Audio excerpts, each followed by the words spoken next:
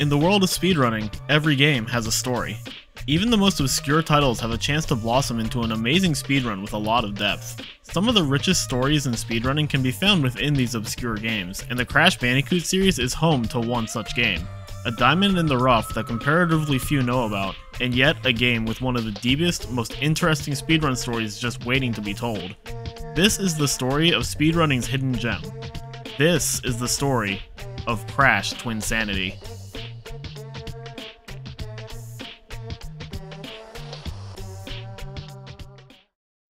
Before we get started, what is Crash Twinsanity?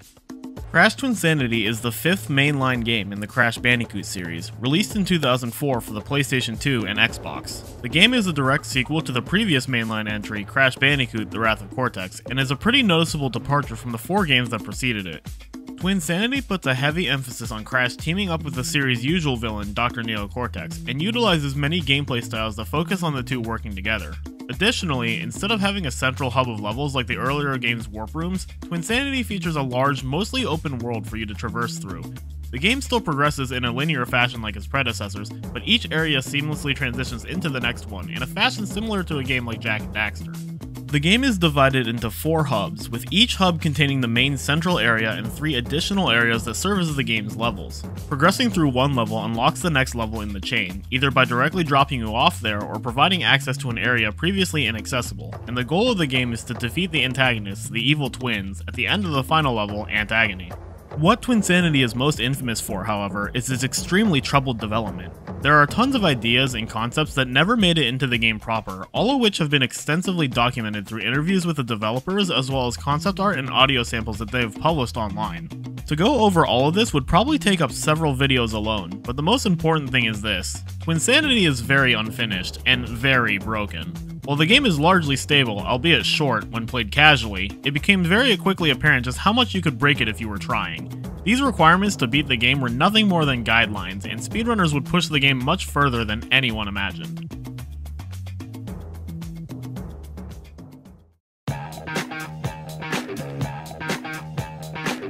The earliest pieces of Crash Twinsanity speedrunning date back to May of 2011, in the form of several skips found by renowned Finnish speedrunner Samurai Man. Two of these skips were found in the game's very first hub, Insanity Island.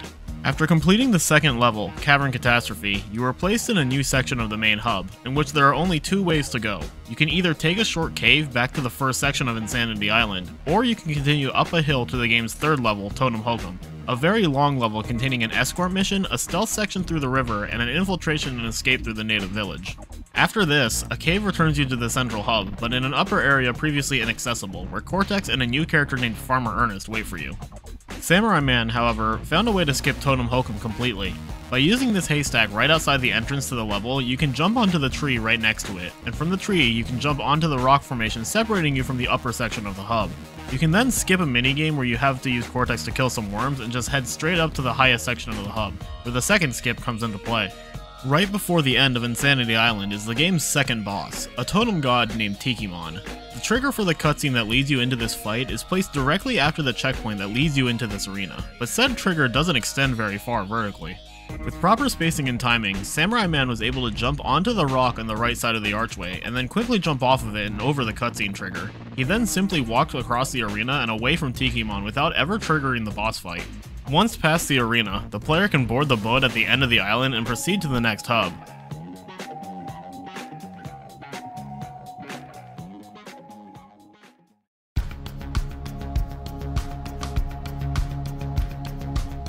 The next skip Samurai Man found is located all the way in the game's third hub, the Academy of Evil.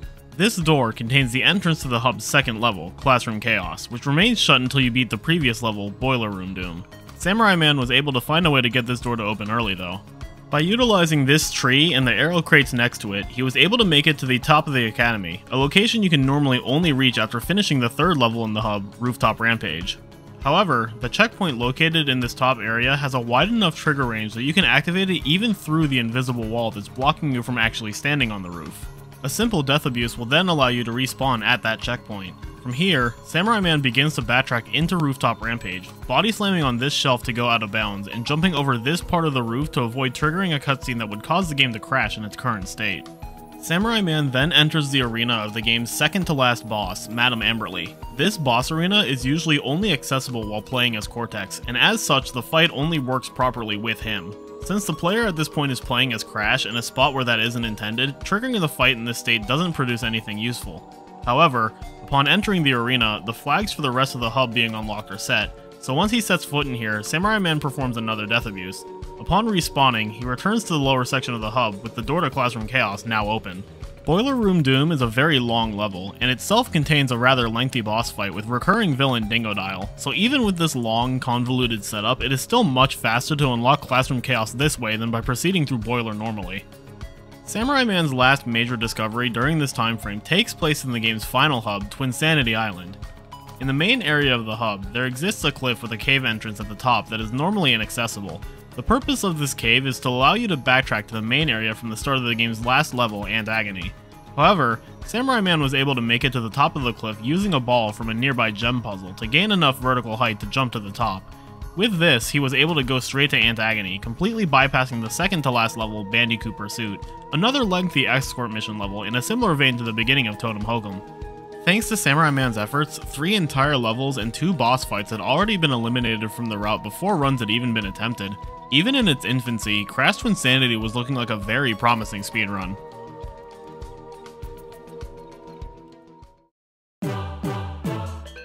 The oldest known Twinsanity speedrun with video evidence is dated August 24, 2012, and was performed by a runner named Singe. Very early into the first level, Jungle Bungle, he makes use of another glitch called the Long Jump. Crash's slide jump in Twinsanity doesn't function the way it does in previous games, and has more similarities to a game like Super Mario 64. And for some reason, if after doing a slide jump, your next jump is at a ledge, that jump will carry the momentum of the slide jump.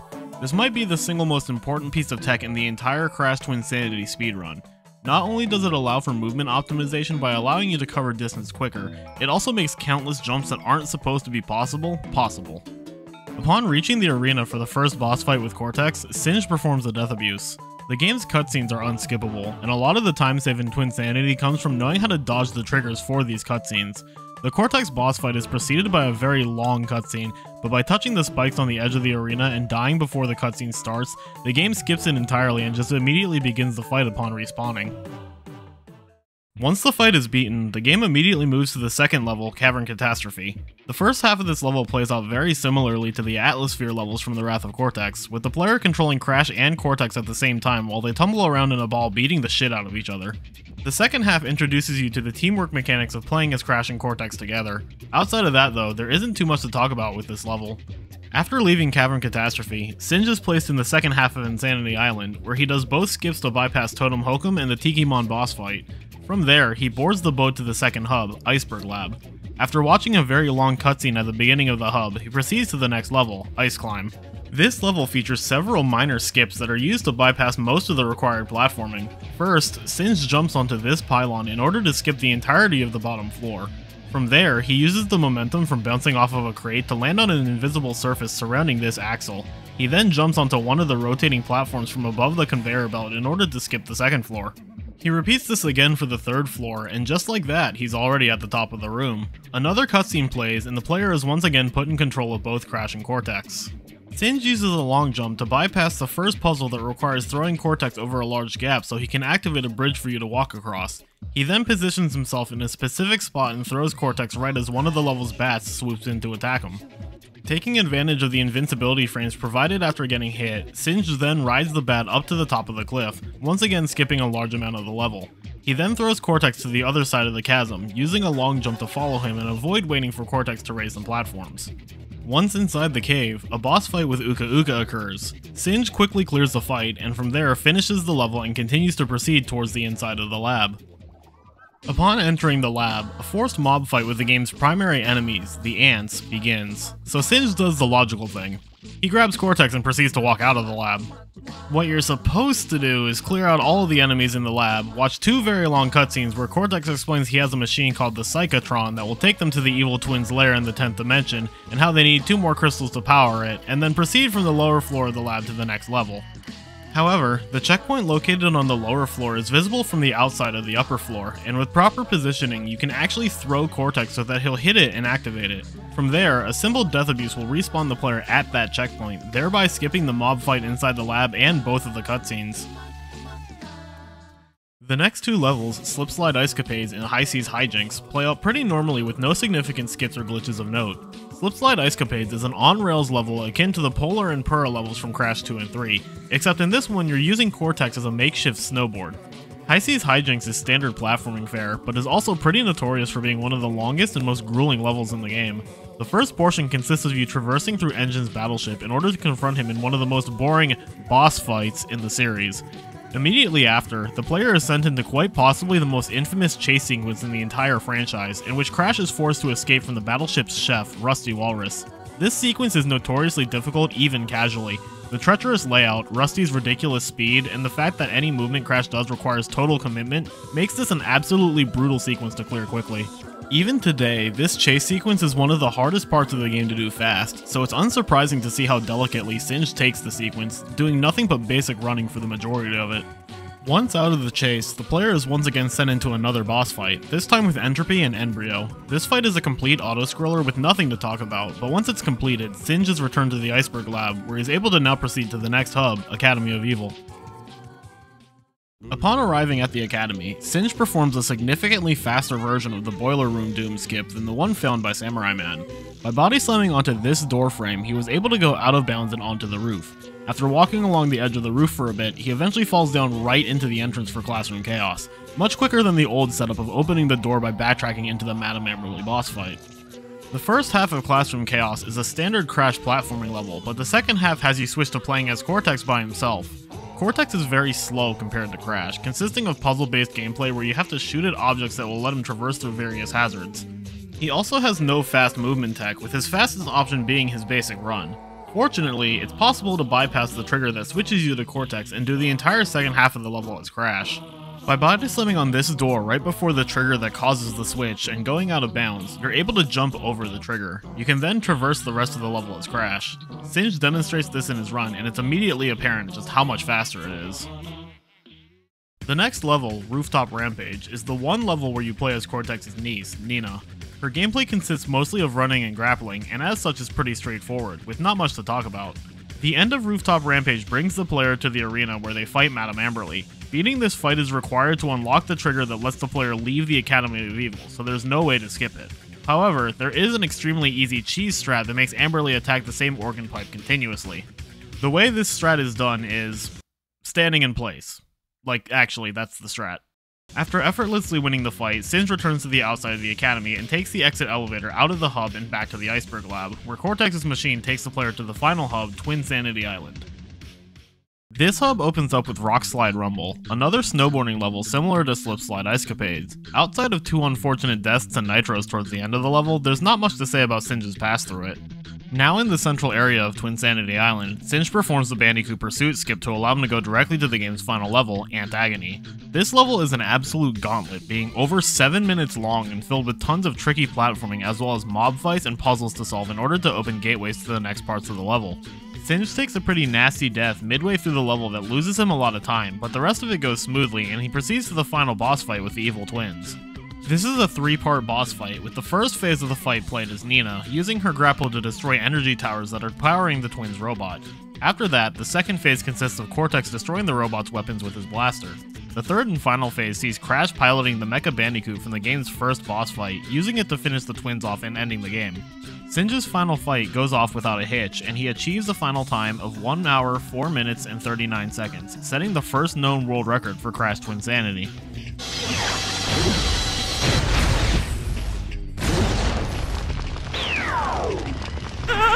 Let's get out of here! Singe's run set a very good benchmark for moving forward, but this was only the beginning. There was so much more to be discovered with this game, and many more skits would be found in the time between Singe's run and the next known world record. On January 25th, 2013, speedrunner and glitch hunter Beta M uploaded a video of a trick that he called Mountain Skip. At the entrance to the tunnel that leads into Ice Climb, Beta instead uses a body slam to climb to the mountainside above the tunnel. Once up there, he slide jumps up the mountain to set up what's called an airwalk. If Crash initiates a slide jump and lands on an area that's higher up than his initial starting point, he'll maintain a regular run for a short time when he walks off a ledge. Twinsanity has a fail-safe system where if you fall for a certain amount of time, the game will automatically kill you and force a respawn. But because airwalking keeps Crash out of the falling state for a couple of seconds, it allows the player to descend from higher than intended without dying. With the airwalk now stored, Beta walks along the edge of the mountain. It should be noted that this edge is extremely thin, being no more than a few pixels wide, so walking along this is very difficult. Once at the other side of the mountain, Beta uses the airwalk to descend to a lower edge. After walking along that edge, he walks off and lands safely on a portion of the main hub that has a tunnel leading directly to High Seas Hijinks. This tunnel doesn't normally become accessible until you've visited High Seas Hijinks for the first time, and is intended to be a means to either backtrack to the central hub or return to the level at a later time without having to traverse through ice climb and slip slide ice capades. Later on, an easier setup for the mountain skip was found that uses a long jump in place of the airwalk, but regardless, Beta was able to access the tunnel early and go straight to High Seas Hijinks upon entering the Iceberg Lab, thus removing both ice climb and slip slide ice capades from the run. A few months later, on May 7th, 2013, Beta uploaded another run of a new trick called Warp Skip. At the start of Twinsanity Island, it turns out that by holding down and mashing the jump button, the player is able to gain control of Crash before the cutscene that plays at the beginning of the hub starts. The player can then walk around the cutscene trigger, grab Cortex, and carry him to the outside of the lab. Once outside, the player can then cleverly use Cortex to scale the side of the lab before reaching the very top of it, using the giant N on the outside to store a long jump. The player can then use a long jump to clip through the walls and reach the inside of the top floor of the lab. This section of the lab isn't properly loaded in, so the player has to activate a specific door to have the room work properly. But once in this room, the player can take a portal that will teleport them directly to Ant Agony. This cut out the need to do Rock Slide Rumble and obsoleted the previous skip for Bandicoot Pursuit. However, it came with a very big catch. Because Cortex was used to reach the top of the lab, the game was now in a state of believing that you were playing as Crash and Cortex together. Whenever you die in Twinsanity, the game will attempt to respawn you as whatever character combination it thinks you are, and if you're in a level where that specific combination isn't meant to exist, the game crashes. Ant Agony is a solo Crash level up until the final fight with the evil twins, meaning that trying to respawn as Crash and Cortex will result in the game crashing. In other words, doing Warp Skip cuts out the entire rest of Twinsanity Island, but with the caveat that you could not die a single time in Ant Agony. If you did, the game would crash and the run would be over. Warp Skip saved a lot of time, but also introduced a very big risk. Sometime afterwards, Beta achieved a new world record with a time of 56.25. This run was the first record to incorporate both Mountain Skip and Warp Skip, and was over 8 minutes faster than Singe's run, but unfortunately, no footage of it seems to exist anymore. On June 21st, 2013, Beta was able to bring the record down even further with a 54.45, a nearly 2 minute improvement, and once again successfully utilizing both Mountain Skip and Warp Skip. Warp Skip took several attempts, with Beta spending a minute and a half trying to body slam onto the end to reach the top of the lab, but he eventually was able to get it. He then proceeded to Ant Agony, where he showed off some new optimizations, namely using ledges high up on the side of the walls of the level to bypass several of the puzzles and force mob fights in one room midway through the level. Shortly after, a runner named Back lowered the record by 2 more minutes with a time of 52.24, but this run is lost to time as well, with no known footage of it still existing.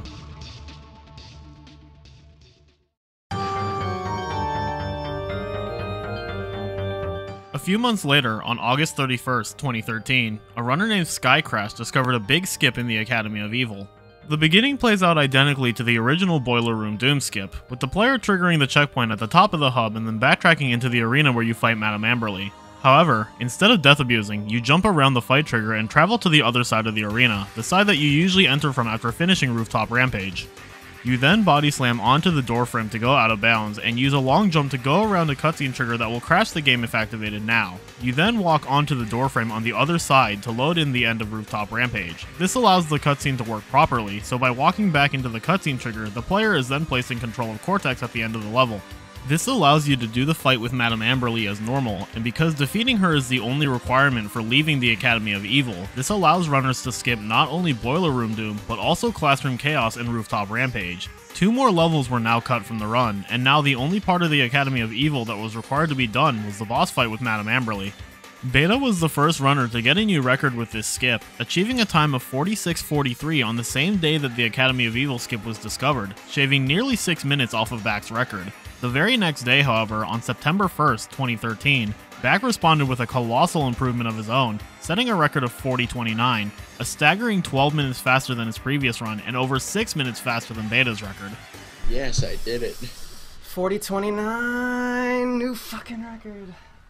Yes. Yes. Oh my god, I got it. Finally. Three months later, on December 1st, 2013, a Russian speedrunner named Smartkin took another minute and a half off of the record with a time of 39 minutes flat. The turn of the year saw more improvements to the record thanks to a Finnish speedrunner named Pol. On January 3rd, 2014, he achieved a time of 37.55, a 1 minute and 5 second improvement over Smartkin's record. Less than a month later, on January 28th, Pol improved this time further with a 37.43. Things were pretty calm for a short while after that, but on March 18th, 2014, Beta discovered something pretty incredible, and it has to be seen to be believed.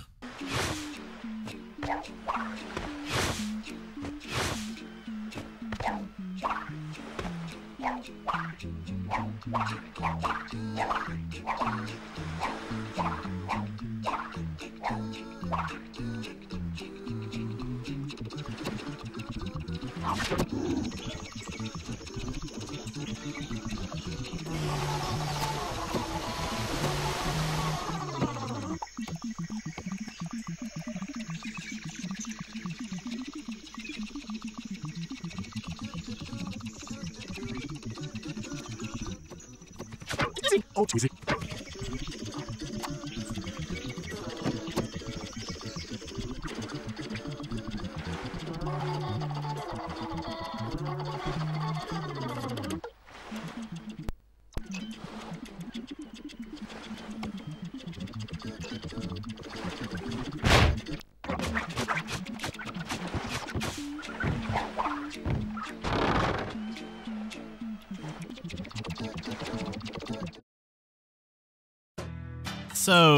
when I said Twinsanity is very unfinished, I meant very unfinished. A lot of concepts and ideas never made it anywhere close to being implemented into the game proper, but some did and had to be dummied out at the last second. One such concept was Cortex's hoverboard, which was intended to be ridden on in a cut segment from the game. The idea got at least as far as having the hoverboard be a controllable object, and because Cortex uses it in the first boss fight, it was placed out of bounds in the arena and made invisible. That's right, what Beta landed on that allowed him to fly around all of Insanity Island was Cortex's invisible hoverboard, fully controllable. Or, I guess I should say it was mostly controllable. The hoverboard really doesn't handle well at all. For the most part, all you can do is elevate it with any of the shoulder buttons and also use the analog stick to hopefully guide it as it endlessly moves forward. This is very evident by how wildly Beta moves around in some parts of his tutorial video. Regardless of its difficulty, the newly christened Hover Skip was big because it allowed the player to access the end of Insanity Island without going through Cavern Catastrophe. Clearing Jungle Bungle was still necessary because the arena for the first boss fight is located at the end of it, but even then, Hover Skip cut that fight out entirely as well as all of the level that followed it. Difficult as it was, Hover Skip saved a lot of time, and runners would certainly make use of it. Shortly after Hoverskip's discovery, Pol set a new record with a time of 32.54, a nearly 5 minute improvement over his previous run. This run, much like many before it, is lost to time, with no known footage of it surviving. On April 1st, 2014, Pol improved the record with a time of 32.27. Like. Also, I'm gonna test new strats here, so get hyped. Okay, here we go. Okay, oh shit, it worked. Yes, beautiful. Beautiful. I love that tri- I love that strat so much. It's too good. The events of the year following Pol's run are a bit shrouded in mystery, but what is known is that this period marked the entry of a runner whose name would become quite famous in the Twinsanity speedrunning community. Another runner hailing from Finland, his name was Jerry. Jerry is a bit of a legend. When discussions about the greatest Twinsanity speedrunner of all time pop up, his name is almost certain to be mentioned. However, all of Jerry's VODs got deleted from both his Twitch and his YouTube several years ago, and he didn't back any of them up, so all of his runs are now lost. But for those who saw him in action, or remember watching the videos before they disappeared, they all could attest to the same thing. Jerry was something else. Jerry's first record was set sometime between Pol's 3227 and May 29th of the following year. Because no video of it exists anymore, the only thing that's known is the final time 3144, almost one minute faster than Pol's run. In the time since Hover Skip's discovery alone, 6 minutes had come off of the record. But while Hover would have a lasting presence in the game's other categories, its time in the any percent speedrun would turn out to be rather short lived. In September of 2015, a runner named Gpro discovered a new skip.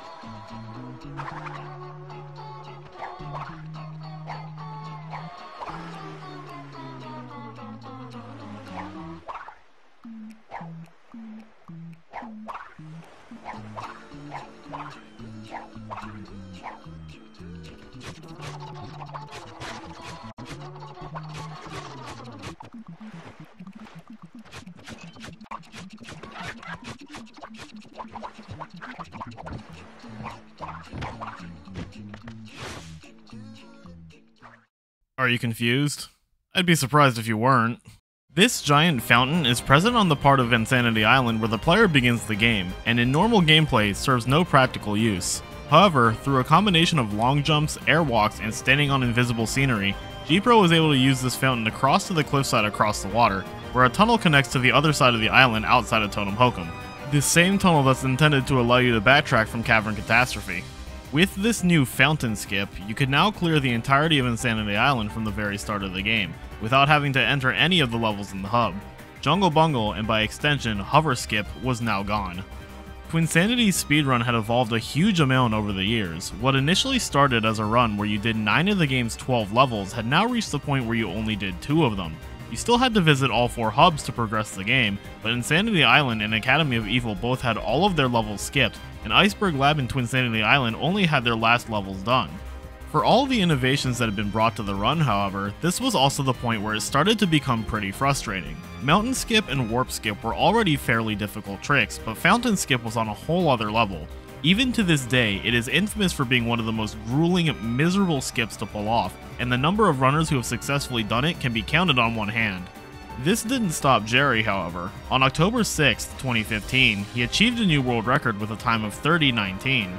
The first sub 30 minute time would be achieved two weeks later on October 18th by the Red Hot VR, with a time of 29.55. This record stood for almost a year until Jerry finally struck back with his own sub 30, setting a new record of 29.23 on September 25th, 2016.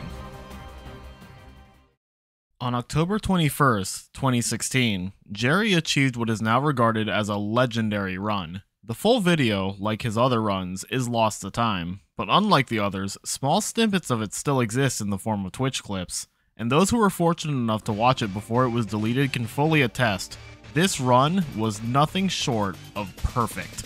Let's go.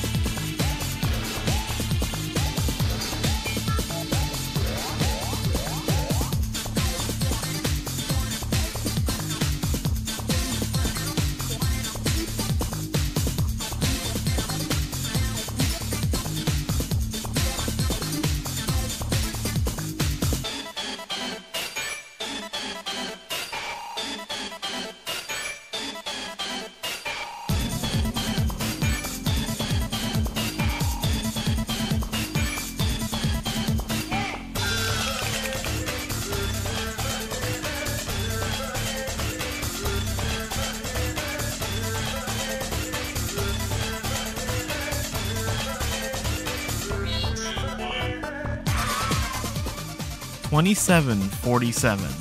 Jerry had shaved almost two minutes off of his previous record in a run that, at the time, was considered basically unbeatable.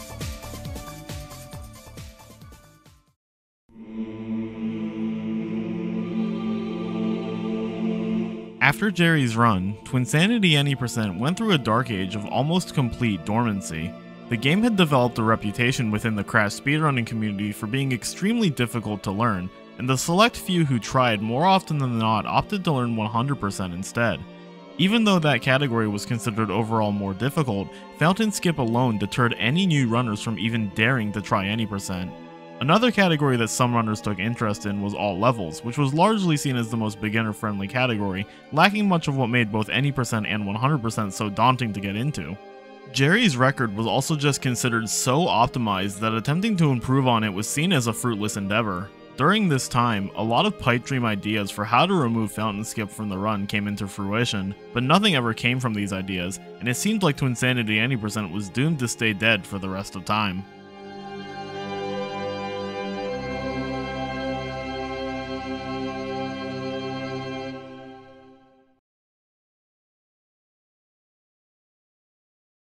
On August 5th, 2018, the Dark Age finally came to an end thanks to a discovery by a runner named Bandicraft. After almost two years of being tormented by Fountain Skip, the community was saved by an acorn. Let me explain. The world of Crash Twinsanity is divided into different chunks that only get loaded in when the player crosses a specific loading zone. The game also features various movable objects that Crash can push around for the sake of solving puzzles, and if one of these objects is placed directly in between the loading zone of two chunks, peculiar things can happen, such as, say, sending you very far forward when you jump on top of it, at the very beginning of the game, there's this large cliff that happens to house the loading trigger between two chunks of Insanity Island, and on the other side of that cliff is the connecting tunnel that takes you to the other half of the island. Also at the beginning of the game is a movable object, this giant nut.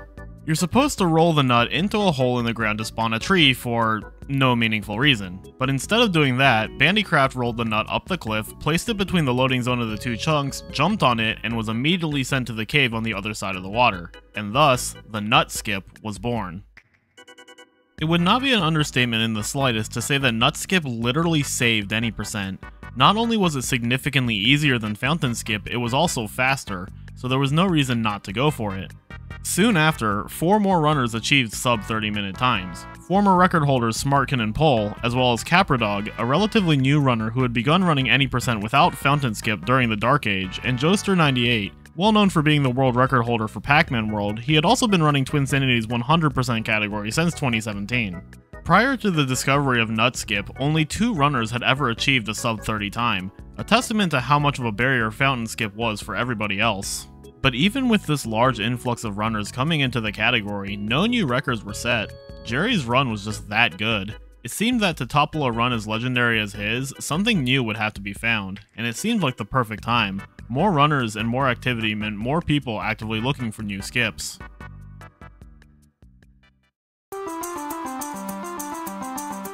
Throughout Twinsanity's life as a speedrun, runners had almost no problem figuring out ways to skip all of the levels, with the only levels still being done in the any percent run being High Seas Hijinks and Ant Agony.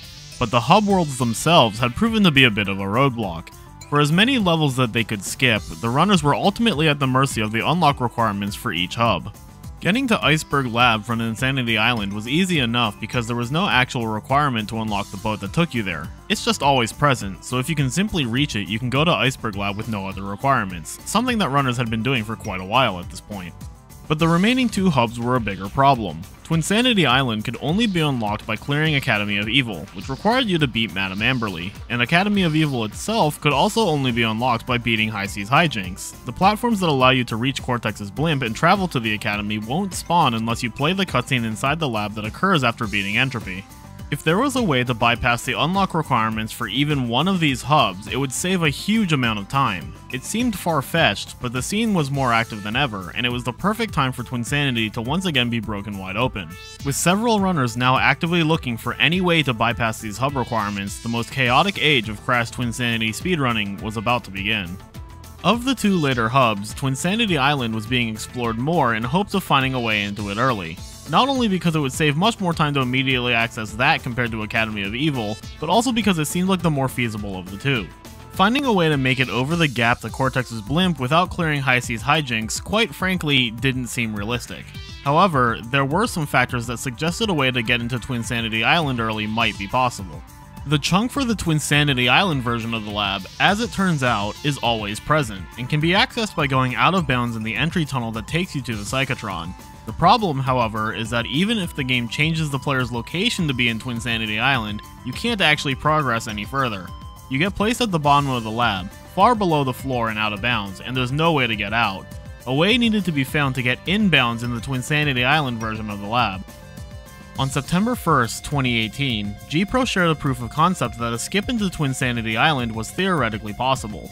Before the player first enters the room with the Psychotron, a cutscene plays where Cortex explains the purpose of the machine. At the start of this cutscene, Crash is programmed to walk to a specific spot in the hallway, but the player can use Cortex from the upper area of the lab as an obstacle to block Crash from reaching his programmed destination. The player regains control of Crash just a few frames before the cutscene fully ends, and if in this short window they're able to reach the spot where Crash is supposed to stand in the cutscene, the game will remain in a state where it will try to put Crash wherever he's programmed to be in a cutscene. From there, if the player goes out of bounds to hit the chunk for Twinsanity Island's version of the lab, the game will put Crash in the location he's supposed to be for the cutscene at the start of the final hub, completely in bounds and thus skipping straight into Twinsanity Island from Iceberg Lab. The problem, however, was getting Cortex into the spot he needed to be for this to work. The trigger for the cutscene at the Psychotron is very big and encompasses the entire width of the hallway, the reason this was a proof of concept is because Gpro pulled it off using cheats that would stop the cutscene from activating, but without cheats there wasn't a way to get Cortex into the proper position without triggering the cutscene. The cutscene trigger could be dodged by jumping over it out of bounds, but Cortex himself couldn't be put in the correct spot in bounds if this was done. The community was extremely close to finding a way to get into Twinsanity Island early. Getting Cortex into the proper spot was the only piece of the puzzle still missing, and Gpro, Bandicraft, and a few other runners worked vigorously to find a way to achieve that missing piece.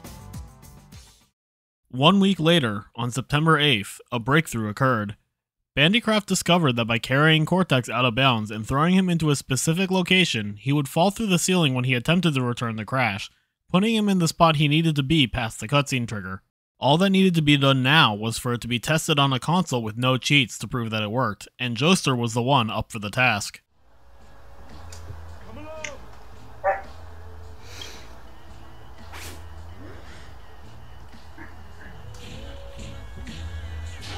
Okay, full control again. Nice.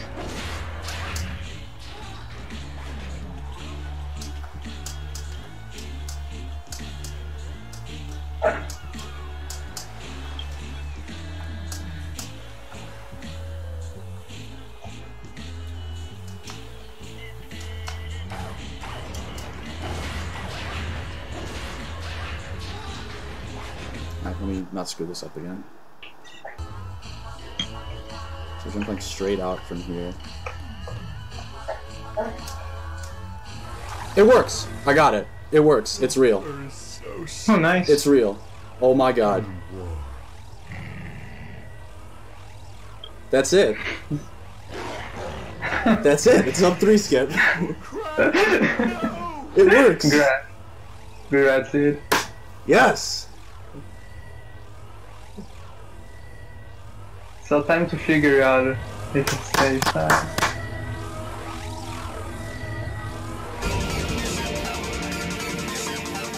Thanks to the efforts of several runners, Dimension Skip was born, and the Academy of Evil was no more. This skip caused a bigger shakeup to the run than anything before it, far beyond simply taking a portion of the game out. The entire any percent route had changed dramatically. With the Academy of Evil no longer being required to access Twinsanity Island, High Seas Hijinks was now no longer required to be beaten either.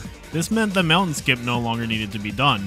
However, the dimension skip taking place at the top of the iceberg lab now meant Ice Climb needed to be completed again, bringing it back into the run for the first time in six years. Dimension skip forcing the cutscene at the start of Twinsanity Island to play also meant that Cortex left the room before he could be grabbed, meaning warp skip was no longer possible either. This meant that Rock Slide Rumble and the old Bandicoot Pursuit skip were back in the run as well. Even with Ice Climb and Rock Slide Rumble being re-added into the run, cutting out High Seas Hijinks and Academy of Evil saved so much time that the new route was estimated to be at least 5 minutes faster than the old route. Overnight, Crash Twinsanity Any Percent saw a massive explosion in activity as everybody made a mad dash for the world record. September 9th, 2018 would come to be known as the craziest day ever. In a span of just over 25 hours, the world record fell six times.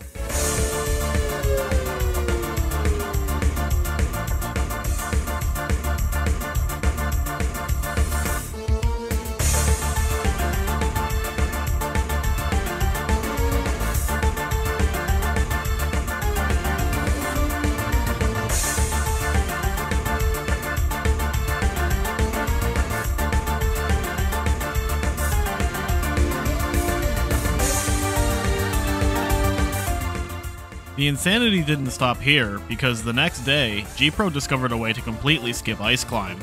This required taking Cortex from the farm on Insanity Island and carrying him over to Iceberg Lab.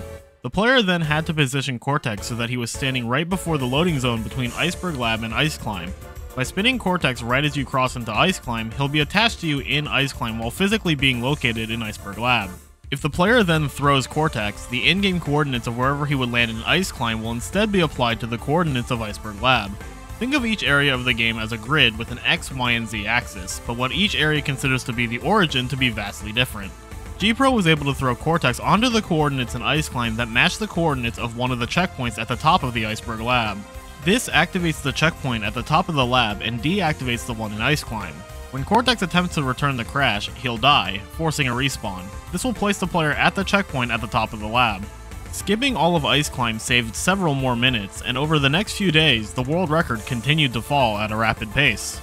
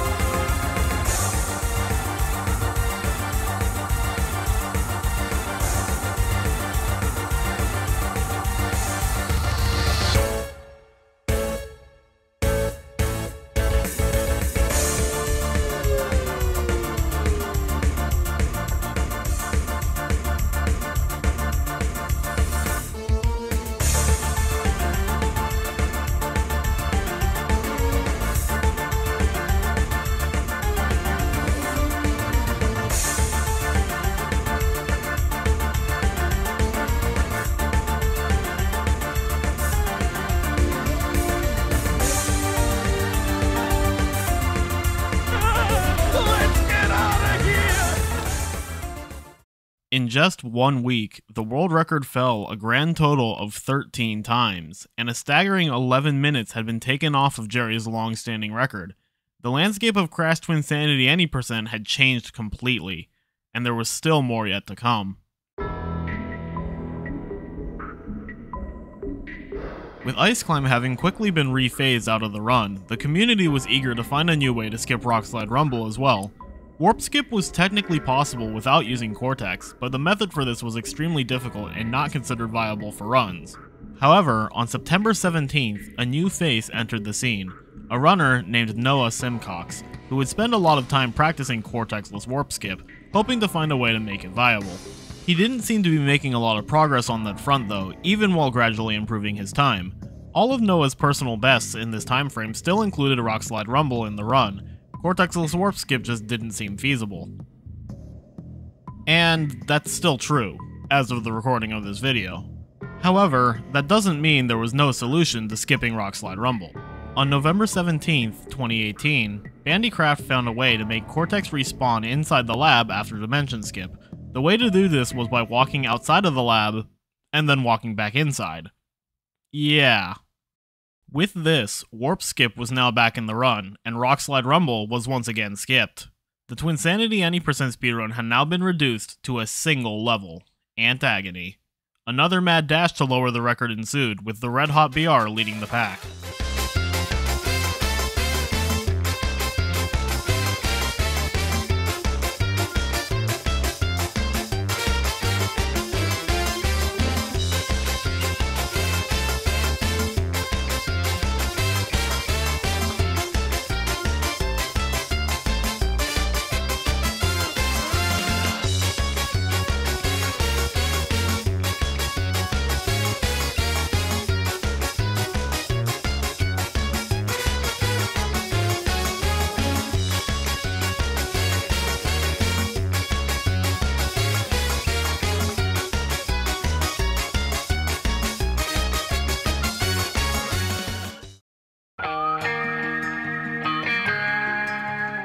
The world record now under 15 minutes, Twinsanity Any% went through another long drought. The category had once again reached a state that many runners found undesirable. Dimension Skip was so precise that it almost felt random whether or not a runner would successfully get it. Warp Skip already had notoriety as a difficult trick, and its reintroduction once again meant that Ant Agony had to be completed without dying. Any percent was now a run that required a large amount of precision and even a bit of luck to be successful in, and while the record could still go down, most looked at Red Hot's 1419 and felt like that was good enough, and no one really tried to contest it. Eventually, however, Noah finally returned to finish what he'd started. Throughout the later half of 2019, he would make sporadic improvements to his time, and by the start of 2020, he was in full force, aiming to push for a 13 minute run. On February 10th, 2020, Noah set a new record of 14.15, 4 seconds faster than the previous record, but still not quite the sub 14 he was looking for.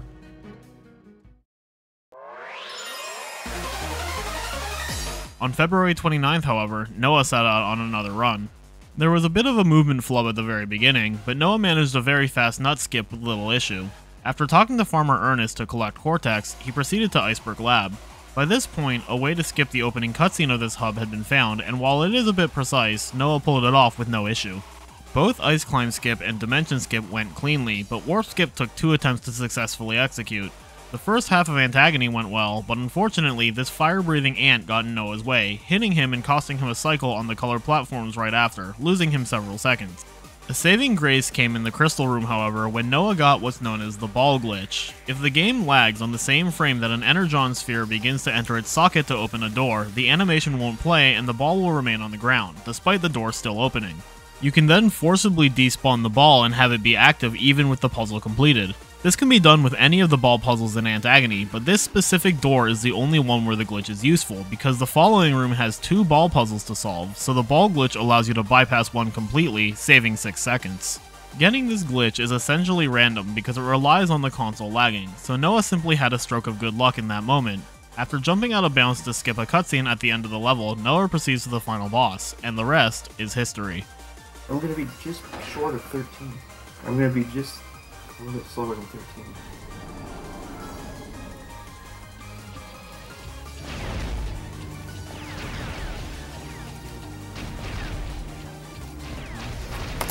Oh my gosh! What the heck? That may have been a 13. That may have been a 13. I don't know. Fellow runner Atomical Sloth retimed the run to the frame and concluded that Noah's final time was 13.59. By the skin of his teeth, and with a little bit of luck, he had achieved the sub 14 time, and so it stood for quite a while. But Noah eventually decided he wanted to push the game just a little bit more, and a year later he would lower the record four more times. First with a 1351 on New Year's Day 2021, followed by a 1350 on May 18th, a 1346 on June 8th, and finally a 1340 on June 14th.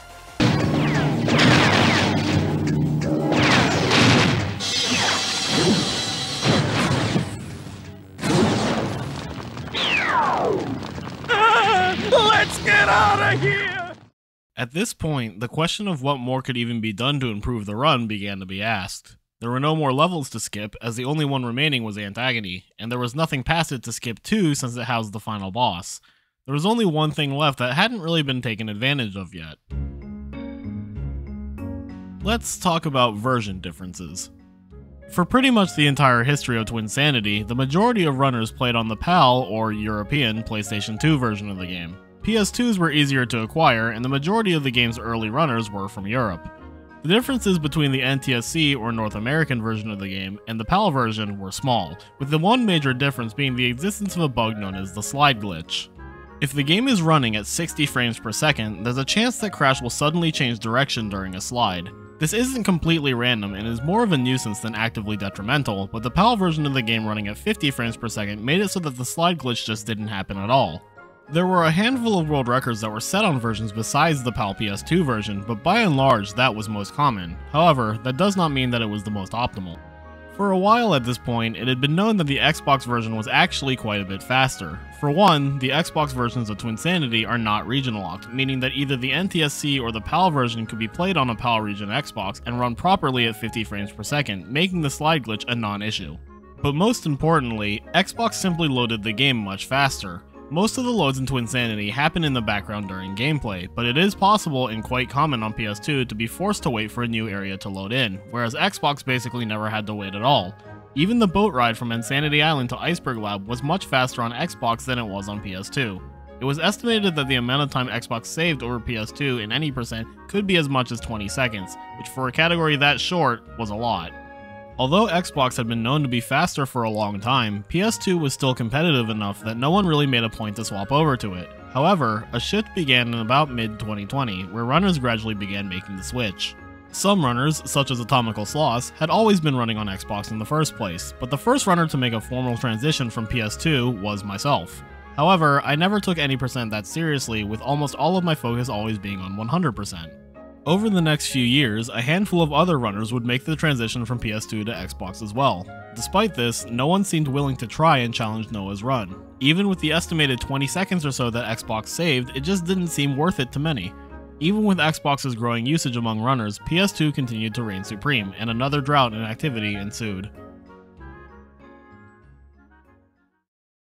Speedrunners are often asked, how on earth does anyone find these skips? And the answer is usually having a theory and meticulously testing a bunch of ideas until a breakthrough occurs. Sometimes, though, the question has a different answer by accident. On January 23rd, 2023, speedrunner Rijiku was practicing Ant Agony when something very strange happened. See this ant right here? Every once in a while, he can follow Crash in a way that causes him to break the checkpoint in this room.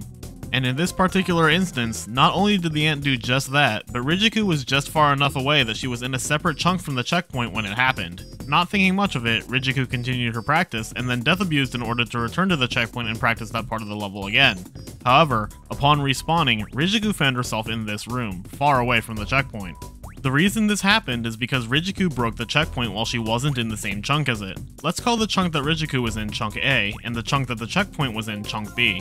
By moving far enough away from chunk B to deload it, the checkpoint itself gets deloaded, so when the player dies, the game doesn't know where to respawn Crash. It will default to spawning him in an adjacent chunk, usually the latest one loaded in the game's memory.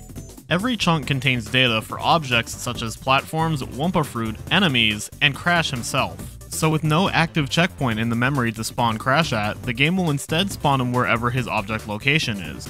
In simpler terms, this trick, which became known as the Cursed Warp, allowed a player to spawn in places that were not checkpoints, so long as they could break a checkpoint while in a separate chunk, and then move far away enough from the chunk that the checkpoint was in to deload it. Very cool, but not immediately useful. However, Cursed Warp was full of near limitless potential, and there were some hints that something might be in the works with some clever innovation. For one, once the Cursed Warp was established, it remained in effect until the game was reset, so you could do multiple of them in a row. If there was a way to use the Cursed Warp to get to the top of the Iceberg Lab, you could then go out of bounds to load in the chunk for the 10th Dimension Lab, in the same way that's done for Dimension Skip. With the 10th Dimension Lab being the last chunk loaded, dying and respawning would put you in Twinsanity Island, completely bypassing the need to do both Dimension Skip and Ice Climb Skip. Using Cursed Warp in this way would be revolutionary, but it had some roadblocks that required workarounds. Workarounds that would involve digging up some of the most ancient and obscure tricks that have been known for a long time, but were never useful at any point before. The first of these tricks was the Splash Teleport. First discovered in 2018 by Bandicraft, the Splash Teleport is a trick that takes advantage of the way Crash's drowning animation works. Whenever Crash touches water, a little splash animation plays, and whenever Crash drowns, the game actually teleports him to the coordinates of where that animation occurred. This ensures that no matter how deep the water is, Crash's drowning animation will always be visible at the surface. This also means that if the player is able to trigger a splash animation without drowning, and then drown in a location very far removed from where the splash occurred without triggering another one, Crash will be teleported back to the splash's coordinates as he drowns. At the beginning of Ice Climb, it's possible to set up a splash without drowning by body slamming this block of ice that bobs in and out of the water. From there, the player can manipulate one of the bats to start attacking Crash. Bats in Twinsanity are pretty notorious for how relentless they are, and will follow Crash outside of the chunk in which they originated and even out of bounds. By luring this bat out of the ice climb chunk and back into the iceberg lab, if the player is able to hit the bat in a way that it will land on ice climb's checkpoint as it dies, the checkpoint will activate while the player is in iceberg lab, setting up the cursed warp. The player can then return to the outside of the lab and perform a body slam to trigger a drowning animation while also dodging the splash trigger. This will return Crash to the coordinates of the splash animation, but because the player is now in Iceberg Lab instead of Ice Climb, the game will apply those coordinates to the same ones in Iceberg Lab, which happen to lie in the chunk at the top of the lab, loading it in right before Crash dies. With the lab exterior chunk being the last one loaded in the game's memory, Crash will now respawn in the tunnel right before the Psychotron cutscene. All the player had to do now was go out of bounds to load in the 10th Dimension Lab and Death Abuse again, and they would respawn in Twinsanity Island.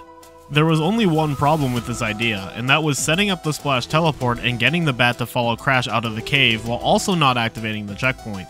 The trigger for the checkpoint at the start of Ice Climb is huge and can't be avoided when entering the cave normally.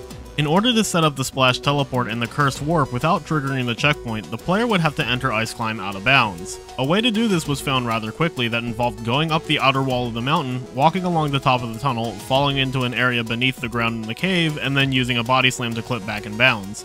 This was all well and good, but there also needed to be a way to get back out, and this was where the second ancient trick, known as the swag crouch, came into play.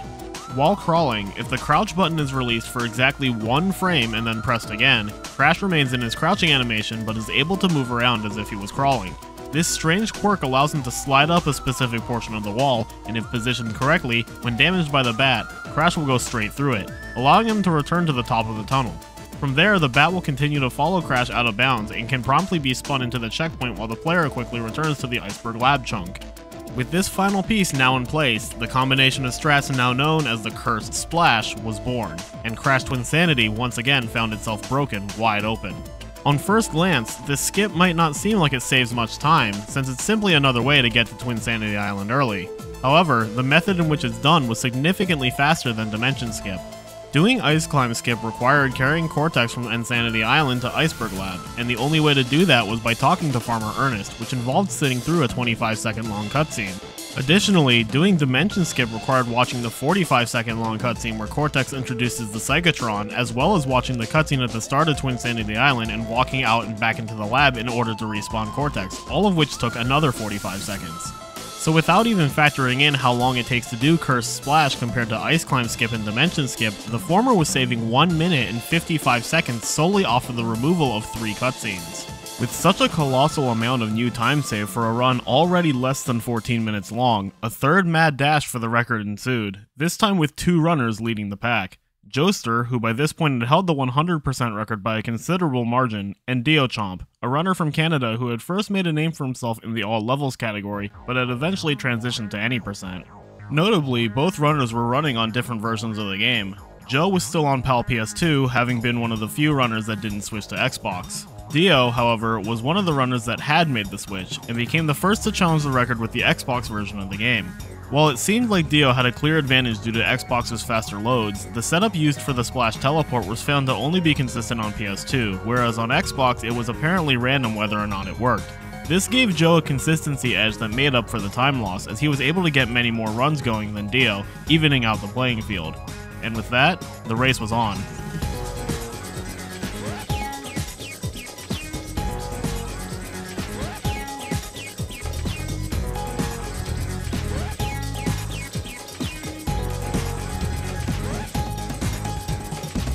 The super quick neck kill. Boom! Let's go! That is what I'm talking about.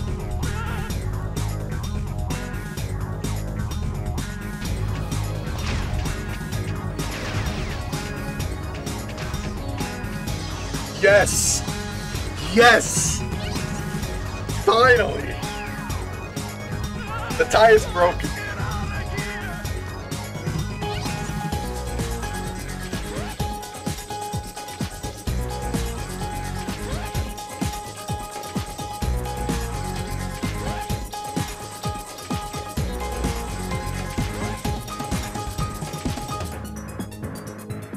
Through their combined efforts, Joe and Dio had managed to bring the world record below 12 minutes, but then, out of nowhere, Noah made a return. On March 7th, he brought the record down just a little further with a time of 11.51. 11 days later, on March 18th, Noah set a massive new record of 11.36, a 15 second improvement and, when factoring in the time save that Cursed Splash provided, about on par with his 1340 from two years prior. With the world record once again in a strong spot, the race to bring the time down ended. This was not the end of any percent's story, though. Midway through 2023, Gpro made a return to the game. Deciding to take a closer look at setups for Cursed Splash, he found a much faster method on July 17th that worked consistently on both Xbox and PS2. After the player snipes the bat into the checkpoint to set up the warp, the player can walk back in the direction of Ice Climb while jumping over the loading trigger. This causes the player to still be in Iceberg Lab, with all of the objects for Ice Climb deloading as a result. From here, the player can jump to a lower area and simply slide off the ledge. If the player holds down the slide button, Crash will drown without triggering another splash animation, setting up the splash teleport. This is where the Xbox era truly began. Neither Joe nor Noah, the two remaining PS2 runners, chose to improve their times, and Noah's final time of 11.36 remains the fastest run done on the PS2 version of the game. But with this new, faster and consistent setup, Dio picked the category up once again, and on July 19th, he achieved a time of 11.32, just 4 seconds faster than Noah's time. Oh, you can see top right. Oh, then you can see I got world record by three seconds. One month later, Gpro decided to enter the ring himself. By this point, he had already taken the records for both 100% and all levels in a dominant fashion, and he was looking to do the same with any percent. Gpro was in the process of proving that he had what it took not just to be a prominent glitch hunter, but also to be the one who pushed Twinsanity to its limit. On August 30th, 2023, Gpro set a new record of 11 minutes and 25 seconds, 7 seconds faster than Dio's run. Dio responded two days later with a run of 11.19, the first runner to break the sub 1120 barrier. The possibility of the game being beaten in less than 11 minutes was becoming very real with each passing day, and over the next few months, Gpro went on an absolute tear.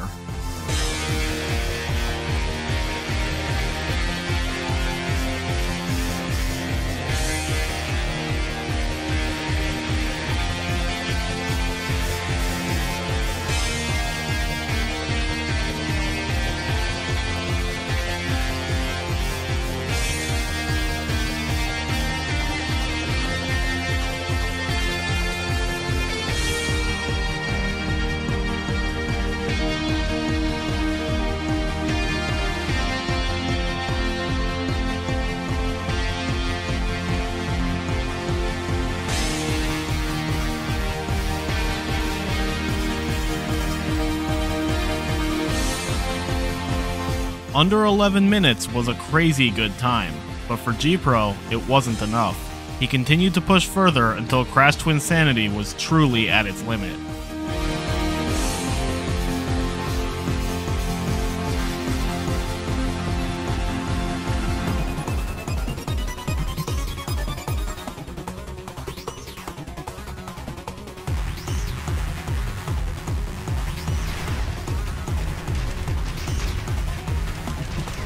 Off!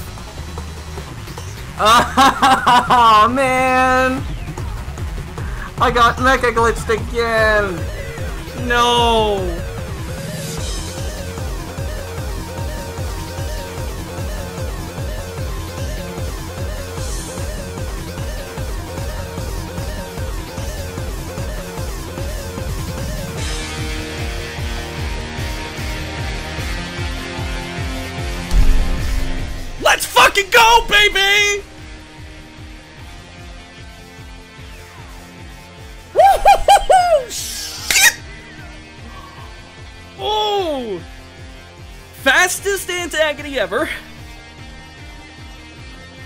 Even faster than with the ball glitch. So, holy shit, that was fucking, uh, that was insane as fuck. oh shit! Oh shit, dude! Holy shit! I got it! Oh shit! Oh man! Holy fuck! Riko's gonna be pissed at me too. This is.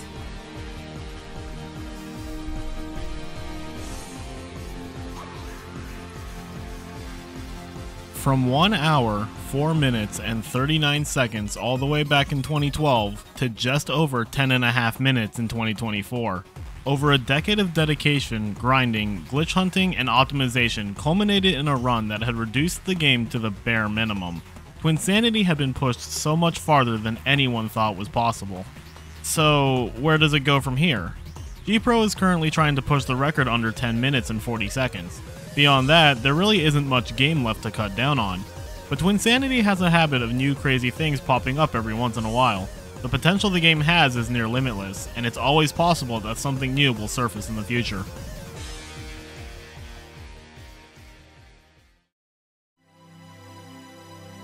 The history of Crash Twinsanity Any Percent is a deep and exciting one, but it doesn't even come close to being the game's whole story.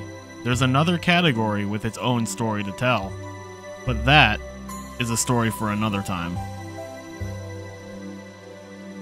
Thanks for watching.